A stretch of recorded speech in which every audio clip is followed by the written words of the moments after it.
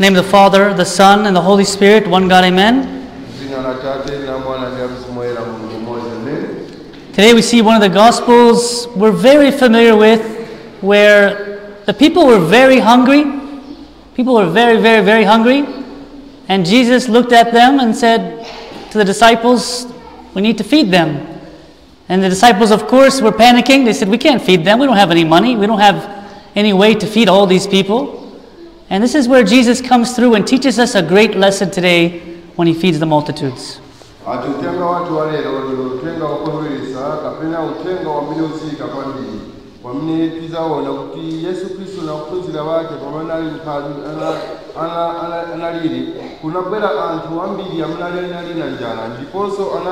yesu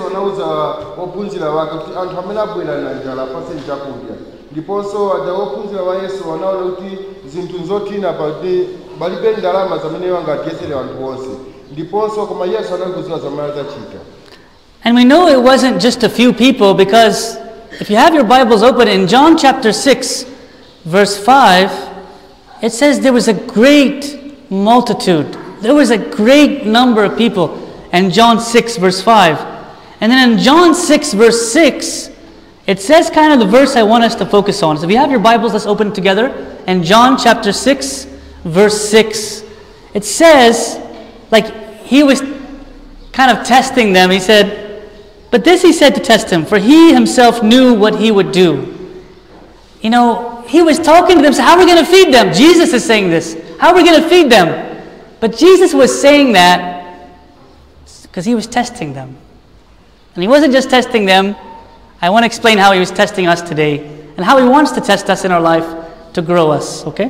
tikalangana mu yohane chapter 6 verse ya, ya 5 ndiponso ya ya 6 nayo ikamba kuti pamene waja anthu anali ambiri maningi kuti masauzande na masauzande anthu amene anabwera ndiponso yesu analankhula izi kuti awayese ophunzira koma iye zamene adzachita posirizira I want to say something here.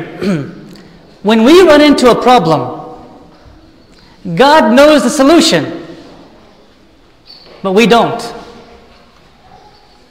And God will put us through the situation to help grow us.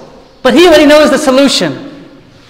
And we're panicking, and we're, we have anxiety, and we're worried, but God already knows what? The solution. It says here, He Himself knew what He would do. But He's talking to disciples just to see what they're thinking, just to see how He can help them grow up.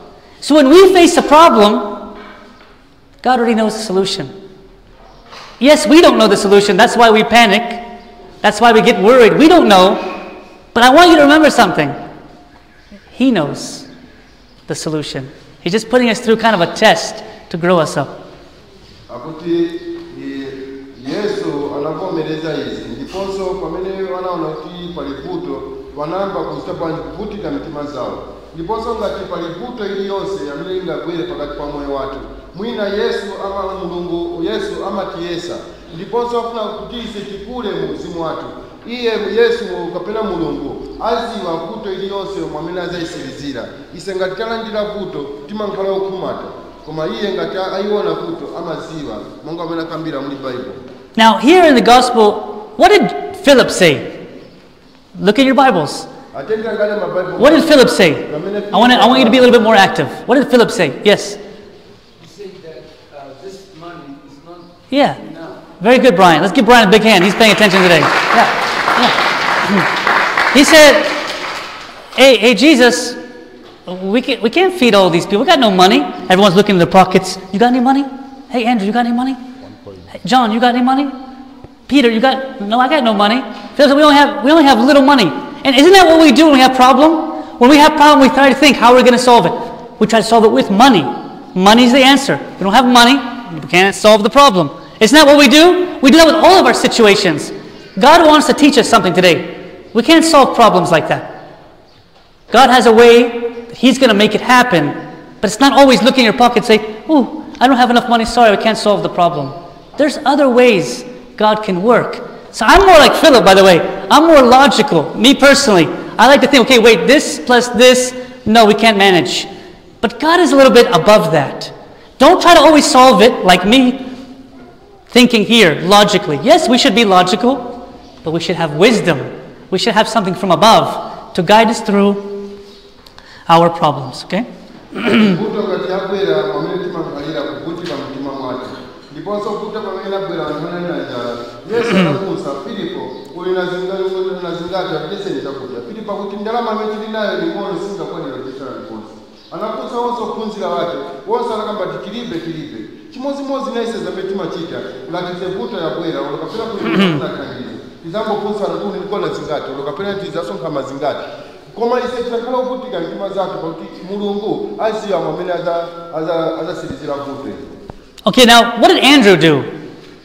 Look at your Bibles. What did Andrew do? Ah. We're in John 6. What did Andrew do? We're from 5 to 14. John 6 from 5 to... What did Andrew... Philip said we don't have any money.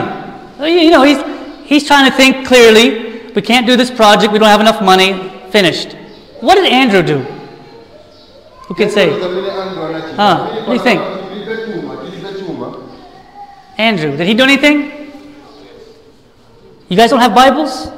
Look at your Bibles. I, I can't help you. Look at your Bibles. Look at your Bibles. You should have a Bible with you. What did Andrew do? Ah. Don't be afraid to bring a Bible to church. It's not against the law here in Zambia. You can bring a Bible. It, it's legal. Yes. It's legal in Zambia. You can bring Bibles to church. ichi chivomerezedwa mdziko yathu la zambia tinganyamule palipo kulikonse What do you think? What did Andrew do? Andrew fell asleep? Andrew cursed Jesus?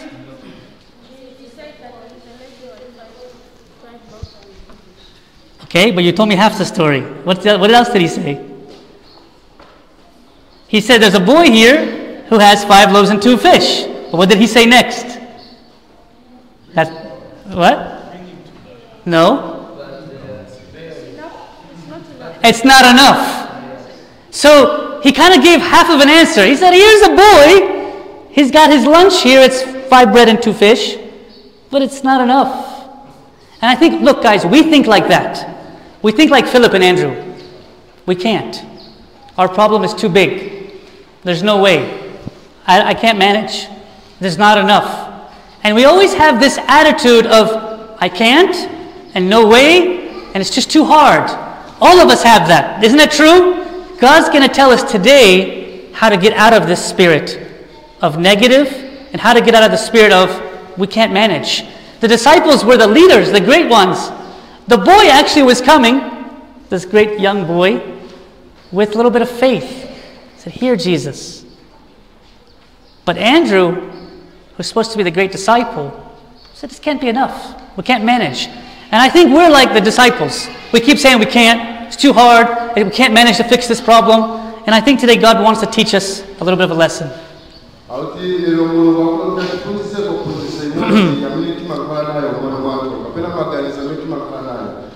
Nayo na mkula kuti pali mwana mmodzi wachichepere mnyamata ali na, na, na, na bredi ziwiri ali na, na bredi ziwiri na tinsomba ting'ono so koma sizinga- sizingate bwanji sizingakwanire mwaona ka chimodzimodzi na ise mwamene tingaone tiganiza timafuna kuganiza na nzeru zathu lokuti pena tivuto tisirize na, na, na tisirize teka.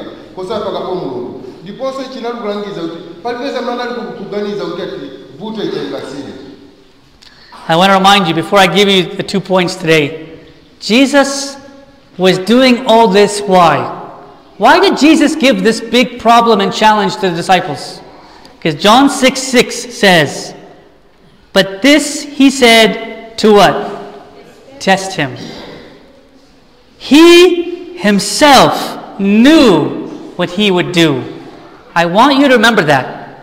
We may be facing a situation right now that's too hard for us. And we're like Philip and Andrew saying, There's no way. But I want you to remember the situation we face is probably something God is testing us in to grow us. And I want to tell you two reasons why He wants to test us. Why does God put us through this situation? Why does He want to test me? I don't need any tests, God. Leave me alone. I'm just let me be at peace, God. I don't need problems right now. I don't need to be worried, God. Leave me alone, God, and let me just live my life normal. And God says, No, I need to challenge you and I need to test you for two reasons that I want to talk about today.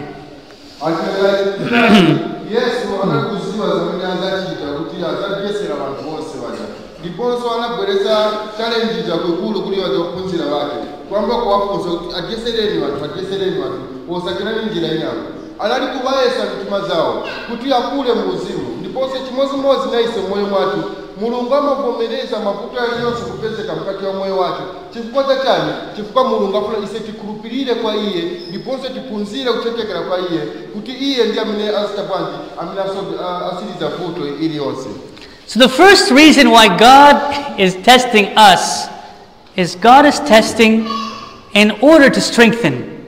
Okay, I want you to think about that. God is testing us in order to strengthen us. I'll give you examples in the Bible. Turn with me to the Bible. So, number one, God is testing us in order to strengthen us. And you're going to get that from, let's look at 1 Peter chapter 4. Let's turn our Bibles together. 1 Peter chapter 4, verse 12 and 13. 1 Peter 4, 12 and 13. So, God is testing us in order to strengthen us. Listen to this. Beloved, do not think it strange concerning the fiery trial which is to try you, as though some strange thing happened to you. But rejoice to the extent that you partake of Christ's sufferings, that when his glory is revealed, you may also be glad with exceeding joy. What God is trying to say in 1 Peter is this everyone pay attention here. It's God is trying to say, I'm going to put you through a, a trial. He called it here fiery trial, I mean really tough trial, in order for you to see my glory, in order to make you stronger. And I think some, and even says you should be joyous. Joyous. If you don't believe Peter, then maybe you can believe James. Let's open up James chapter 1. James chapter 1, verse 2 says the same exact thing. James chapter 1, verse 2 says, Hey, you should be joyous in your problems because you're going to be tested so you can produce patience, and patience is going to make you perfect. So, what am I trying to tell you today is in James chapter 1, from verse 2 to 4, God is ready to test us to make us perfect. I know we don't like that, but God is testing us in order to strengthen us.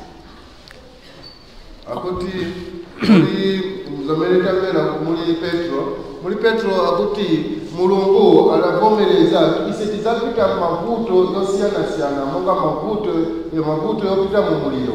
So ni chani mulungu avomerezera izi kuti ise mavuto kuti ise tione ulemerero wake.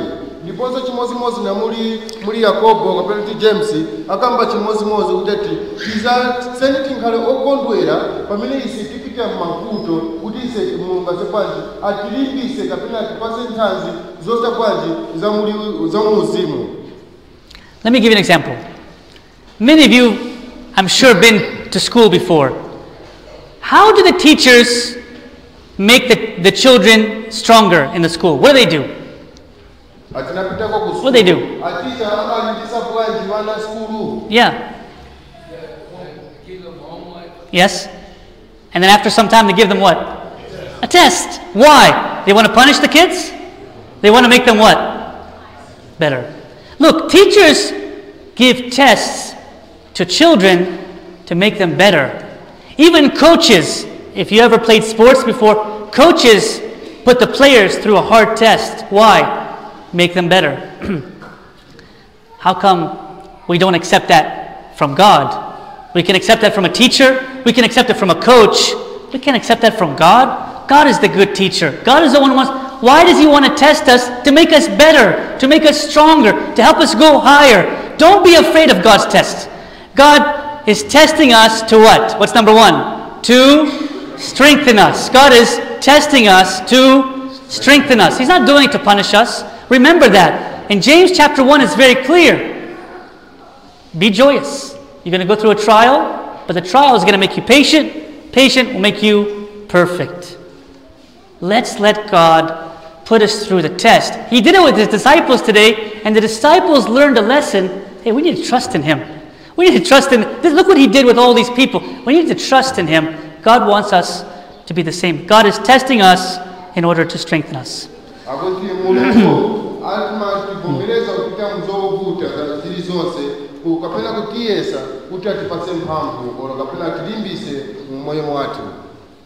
I was in Congo last week I heard a story of in Congo they discovered this beautiful, beautiful, beautiful diamond. Huge, huge diamond. You know, in Congo there's a lot of different minerals and, and, and, and things like that, and diamonds are there everywhere. So in Congo they discovered this beautiful, beautiful diamond. It's huge, worth maybe billions of dollars. So they brought it to a person called a gemologist, someone who knows the gems. He's professional in, in the jewels and the gems. So he was looking at the diamond, and all the people are looking at him and saying, What is this guy going to do? What is he going to say? Like, how much is this thing worth? So, what happened in this true story, the gemologist cut into the diamond right down the middle. Everyone started panicking. Everyone started getting upset. This guy just ruined the diamond. He ruined the diamond. So most of the people in the room started shouting at him, insulted him. They wanted to beat him up, and they wanted to fight him, and they wanted to really kill him because you don't do stuff like that in Congo. you don't do stuff like that. And what happened was the gemologist was right. He was cutting the diamond in a certain way to bring to keep its value. If he didn't do that cut, if he didn't do what he was supposed to do, the value of the diamond would not remain. Everybody was upset, but only few people in the room knew that this is the way it should be done. The diamond needs to be cut. And I was thinking about that. This is what God does with us. Sometimes we're going to be injured or cut or hurt. And we think it's the end of the world. But God said, I'm doing that so you can remain valuable. You can remain strong. We think it's bad when God does His work on us and puts us under pressure. But God said, No, I'm doing that so you can retain your value. You can be more valuable, more stronger. Maybe we don't understand why God does what He does, but we should understand one thing God is testing us for what? To strengthen us. Remember, let's say it together God is testing us. And never forget that. Just like the diamond. Why did you do that? Hey, the gemologist knows what he's doing, God knows what he's doing. We don't understand it, but we know he's doing something for our betterment, okay?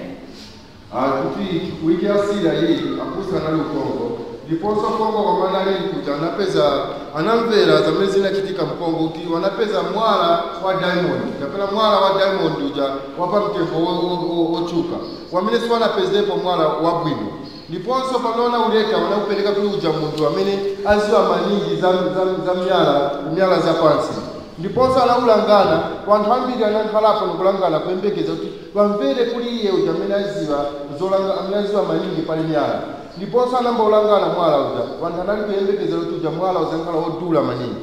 Ndiponso uja anasa bwanji anamba kujuwa pakati mwala uja after ulangala anamba kujua pakati pamana ujua pakati wanthu wonse anakhala okalipa kuti aononga aononga sizasa bwanji sivinga singaguliwe pa mtengo wodula koma zamana ali kuchita zija.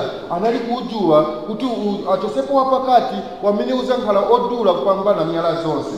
Koma wajamana ali naye wanaziwa zamana ali kuchita koma wanthu anakalipa chimozimozi naise mmoyo mwathu amavomereza kubwera ti- ti- tiza amavomereza tinkhale monga kuti tinkhale wapa mtengo wapatali tinkhale monga kulingana na pali mwala uja The next thing I want to say to you, and I'm only going to give you two things today, is that I really love the story of the little boy. We talked about it earlier. This little boy was a little lad, it says in the Bible, and he brought Jesus how many bread? Thank you. Five loaves and two fish. And if you're a little boy today in the church, you should be happy and proud of yourself because Jesus is saying, This little boy gave little and God made it much. I want you to think about that for a second. Little boy gave little, but God made it much. And I think sometimes we don't understand that philosophy with God. Sometimes we don't understand that strategy. We think that I have little, what is little going to do? Andrew said that today. What is little going to do? And Philip said the same thing. We don't have enough money. So I want you to remove that from your brain. And I need to remove it from my brain, which is this little is not little. Little in the hands of God is what? It's much. When I give God my problem, my situation, my offering, my whatever, what does God do? He does much. Please, I'm not trying to preach to you today. I know it's always like a preaching on Sunday, but I want us to talk about reality. When we try to solve a problem, it remains little. If we took the five loaves and two bread in any of our hands, or any of the disciples' hands, or the ch- child's hands, it would remain little. But as soon as he gave it to Jesus, and Jesus took that situation into his hands, he made it much. Little is little in our hands. Little is much in his hands. Don't try to solve your problem. Don't try to think of a solution only by logic and by money. It's never going to work. It's never going to work. You, we always say, only if I had that. No. This boy understood little in the hands of God is a lot, is much. Let's remember that today. So God was testing us first to strengthen us. But I would say this one, number two, is God is testing us so we can taste Him. We can understand Him. We can understand that life in His hands is better. So, number two is God is testing us so we can taste Him. When I say taste, I don't mean like you're going to taste something, but I'm saying you're going to understand that when life is in, when my problem is in His hands, it's going to be solved. When I keep worrying and, and fighting, how many times you use this thing? It's like a motor, and keep thinking, what about this? What about this? Let me talk, and we can talk to this person. We can do this. Nothing. I'm telling you guys, I'm not trying to preach to you, but I just know that when it's in God's hands, we're going to see the same kind of miracle today. God is testing us in order to strengthen us, but God is testing us so we can taste Him. We can taste how great life is with Him.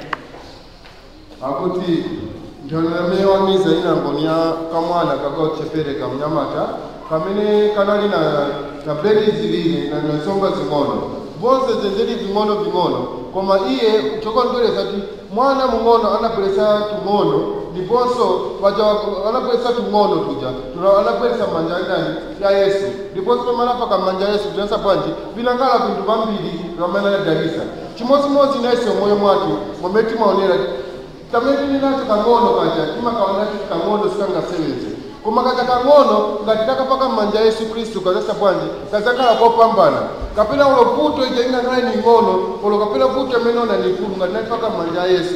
Imankhala yopambana imasa bwanji imankhala yopambana chimodzimodzi yesu anafunsa filipo. Filipo ananga chimodzimodzi wanu nda andro anakamba kuti ni koma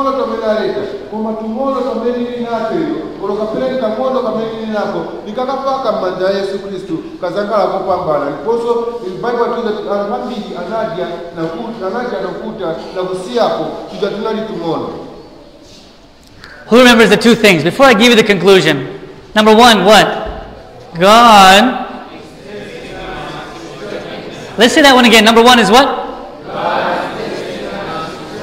How about in the back of the church there, the girls in the back? Number one is what?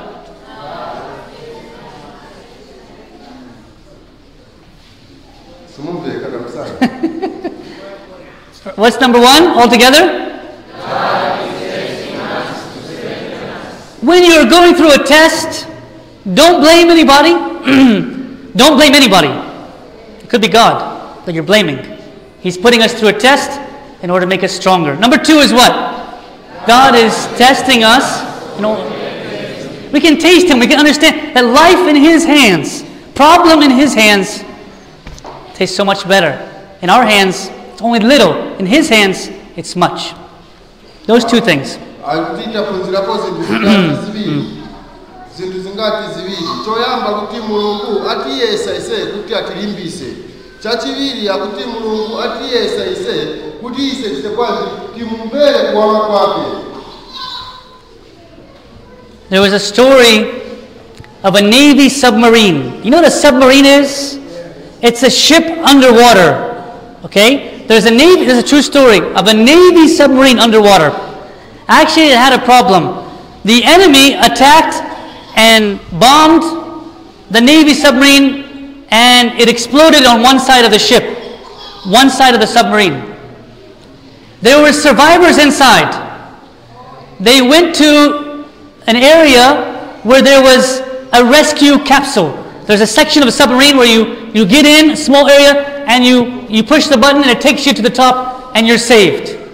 So the people who were still alive, this is a true story, the people who were still alive in the submarine that was hit by the bomb rushed to the rescue capsule, the place where you can get in there, push a button, and go to the top and you're saved. Here's the problem. They went into the capsule, they pushed the button, it didn't launch. It didn't launch. It didn't launch until they died. Investigators, after two days, discovered that the rescue capsule was never tested. They never tested the rescue capsule to make sure it's working. So, what happened is everybody died. Now, why am I telling you a story about the Navy submarine? I said to you earlier, testing is good. If they would have tested that submarine to make sure it works, they would have survived. But they didn't, and they all died. We don't want testing from God. We need it, or we're not going to make it. We need God to test us. We don't like it. We don't like the problem. We don't like the trial. We don't like the tough situation. I don't like it, and you don't like it. But we need it. We need that problem. We need the trial. Why? To strengthen us. Number two, so we can taste how amazing God is. No test, we're going to be weak Christians. You know what a weak Christian looks like? A weak Christian is useless. Let me say that again. A weak Christian is useless. God said, I can't leave my children like that. I can't leave my children like that. I'm going to test them.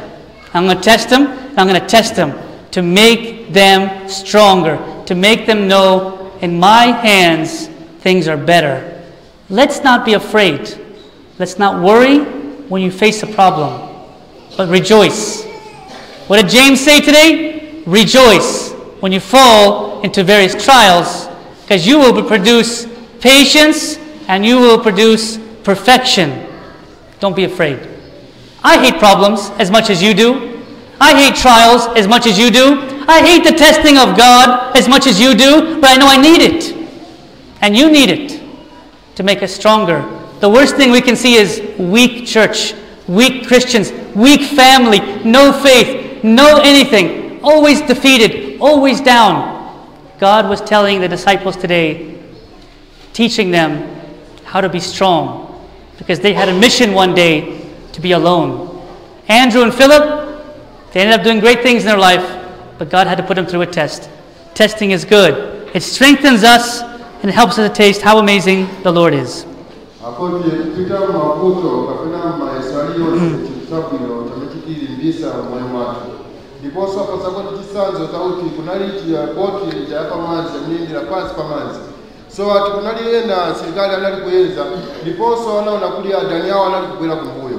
So anasa kwanji anatumilapo yalayapominga ndiponso wati analota zamwalira so muja mulija mulija boti yapamazi akuti kunali mbali nango yamene auti akatinika batani tida satani boti kunali kuyenda pamwamba paja wapulumuka ndiponso wanachapanji wajakumana tukapaja wanayesa kutakiwa watunge pana chani awo waende pamwamba koma wanakangiwa koma posilisika nasabwanji wajanamwalira mm. so kumwalira kwawo kuja ncha chinalegesa swana iyeseletu kapena patani jamine mapulumusa ngati zachitika ngatiwapeka mmavuto ya chimozimozi ndiponso chimozimozi naise ise moyo mwathu tifunika kuyesa kapena ku- kuyesewa na mulungu kuti tinkhale olimba olo kuti ti- tinkhale olimba tinkhatipeze chipulumuso ngasinayesewa kuti mavuto aliwonse ngati mavuto abwera tidzakhala kapang'ono chabe nosita bwanji no- nokulephera olo kapena kumwalira.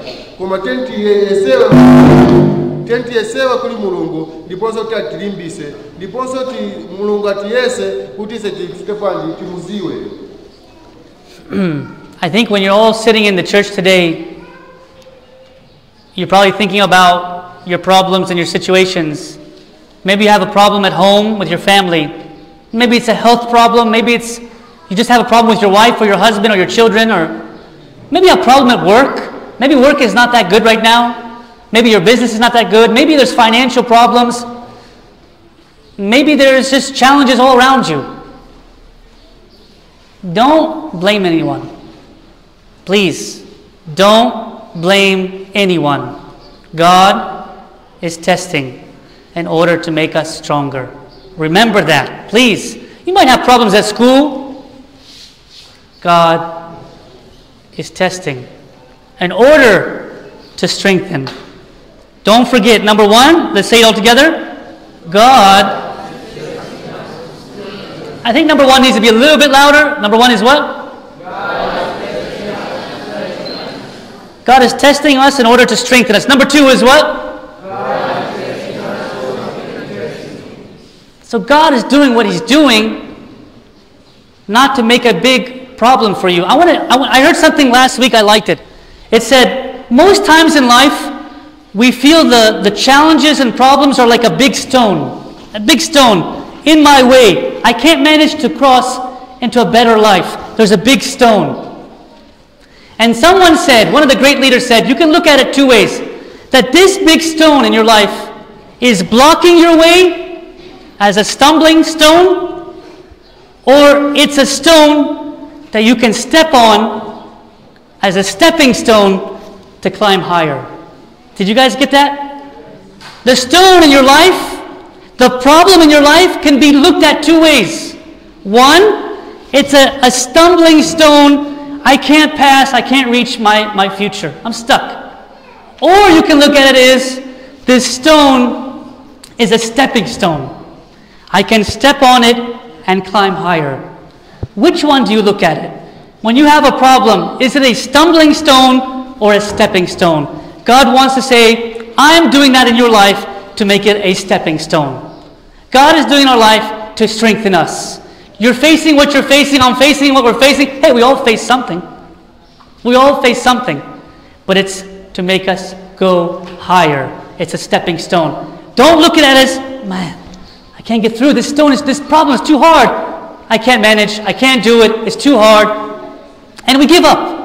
And we're discouraged. No. It's not a stumbling stone. It's a what? Stepping stone. Can we say that? It's not a stumbling stone. It's a you're going to climb higher. If you want, this problem can make you greater, make you stronger. Look throughout the Bible. You've seen Joseph in the Old Testament. Through all his problems, he became great. Daniel, the same thing. Look through anybody in the Bible. They had big challenges. God used it to launch them higher. Maybe God is putting you and me through a test today, not to defeat us, but to make us victorious. God is testing us in order to strengthen us. God is testing us in order we can taste how sweet He is. It's not a stumbling stone, it's a stepping stone. Let's pray for that in liturgy today. Say, God, I have these big problems, these big stones. I can't manage. Let it be a stepping stone for my life. Pray for that with me in liturgy today. Don't be defeated today in the church. Be encouraged. The test could be from God to make us higher. Accept the test. You can't say no to a test at school. You have to accept the test. But it makes you better. Not a stumbling stone, but a stepping stone. Today in liturgy, when you close your eyes and pray, say, God, this is too hard for me. I can't manage. But I know you can. Take me higher. When you do that, God will take you higher. And instead of being defeated by problems, you grow, grow stronger. That's life of a Christian. Life of a Christian is looking at it from a different view. It's not a stumbling stone, it's a what? Stepping stone. Remember that. Praying for you one another. Glory be to God forever. Amen.